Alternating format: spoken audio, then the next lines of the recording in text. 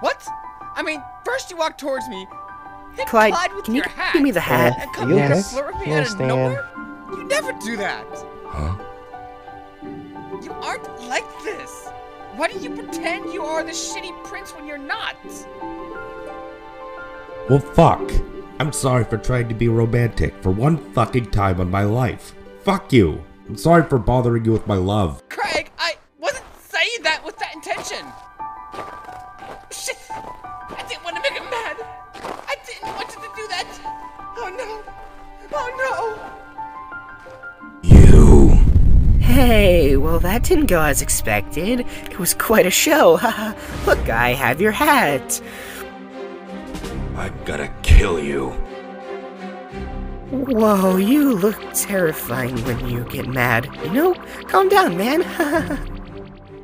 I hate you. But hey, everything will be fine. I've got a plan B. Well, it's going to be a little more complicated. What the fuck is it gonna be now, Stan? No, no, that's the thing.